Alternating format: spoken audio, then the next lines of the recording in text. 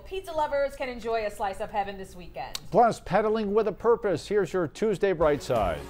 A group of folks riding their bicycles across the country, making a stop in Toledo today. Members of Pi Kappa Phi fraternities from across the country are pedaling 4,000 miles to raise money for those with disabilities. The annual Journey of Hope visited UT for lunch today to meet with one of the organizations they truly help.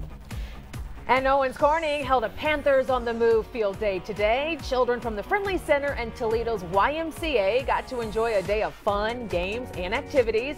Dozens of interns put on the event to provide a fun, safe place for kids to spend a summer day. Pizza chefs from all over will be in Sylvania this weekend. The annual event's big deal, Pizza Palooza.